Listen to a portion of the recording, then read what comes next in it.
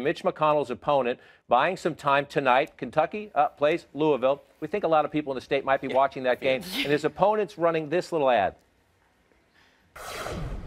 March Madness in Kentucky. Commitment, courage, you gotta love it. Even if your team is already out of the tournament.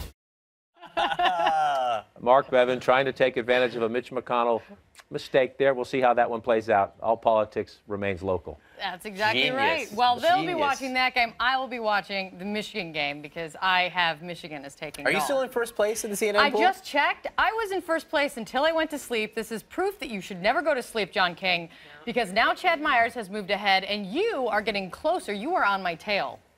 I'm a sleeper. I come up late.